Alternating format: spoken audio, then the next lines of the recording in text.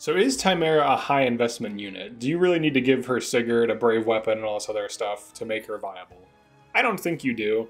Honestly, she just needs Ike and a decent weapon and unlocking speed plus 3 to speed plus 4 and she'll be fine. So let's outline how she can be used. So in this map, we have a choke point. Now any tank can really go here because there's no mages, but Timerra is another unit who can tank. So all you need to do, use make use of her high defense. You can engage on Ike, and then just sit there with a javelin and counterattack everything at one and two range. Now in this case, the choice is yours. it might not really make sense for her to have the javelin equipped because there's a longbow that's about to shoot her. You don't know that, but I know that. So I'm going to just manipulate her weapons really quick. So she can just do this. All right. So she'll counterattack with her silver. So here she is holding down this position. Now she can trigger Sandstorm on counterattack, like so. So now that enemy is basically dead. And it's really nice to be able to counterattack and trigger Sandstorm to avoid doubling, to tank physical and magical, taking half damage on top of her decent res. Her res isn't insane, but it's definitely better than your average tank. So having half damage on top of that, and also she gets plus five defense and res because of Ike. But her and Ike actually make a lot of sense, I'm here. and she has access to some interesting things. So I can start trying to poke some of these enemies. This enemy in particular, right here, reduces her speed. Now that's rare, like there aren't very many enemies that do that, but I'm gonna target this. Just try to get a sandstorm trigger on him early, if I can. Alright, I got a crit. I'll take it. So then we dance. And I also don't have the speed plus 3 or anything on Sadal yet. He's only level 21 now. So he doesn't boost her yet. He's still a little Let's underleveled. Alright, so we still should get a sandstorm again. Ideally. There it is. Alright, cool. I fight for my friends. Fight for my friends.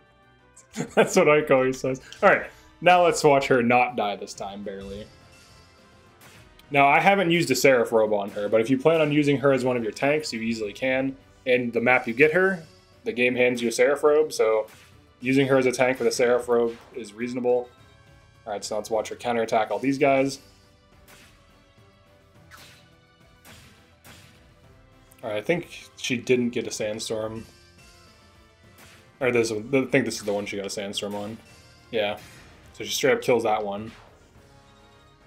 Levels up. Some more speed, dex, and HP.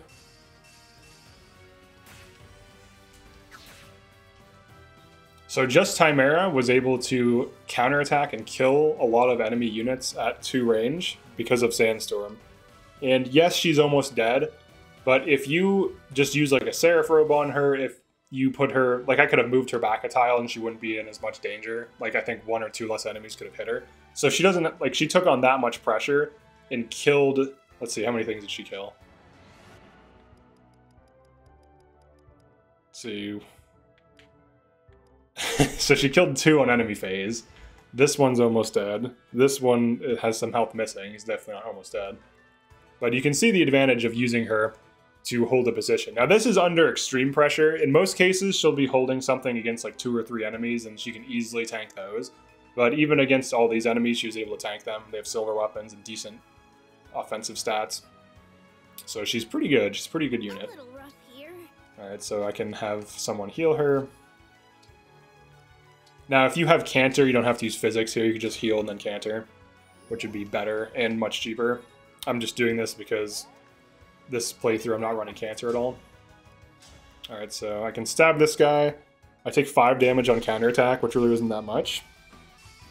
There's a Sandstorm, so it's lethal outright. 43 damage hit.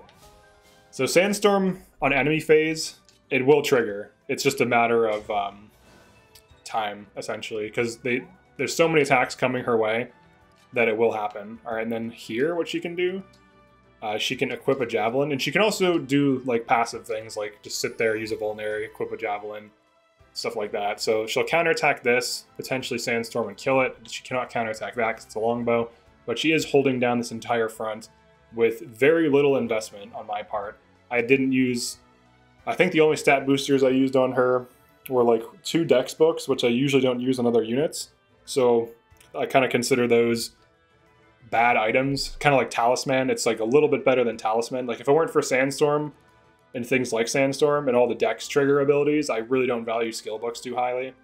Uh, but if you want the Sandstorms to come out as much as humanly possible on counterattacks, you're going to want to get her some dex. So dex books, you can run Seraph Robe on her. I haven't used a Seraph Robe on her, but if I did, she'd be more tanky. Uh, you can use things that increase def like defense. Her Ike bond level is only at 11. If you max this out, I believe you get defense plus 5. So that also makes her tankier. And I think it increases her health as well. So Ike increases her strength, her defense, and her... Um, I'm sorry, just those three things. But it increases her survivability and her base damage output, which is definitely helpful. It doesn't increase her dex. Um, Sigurd is really good for attacking. I would say Ike is really good for defending. So that's the difference between the two of those.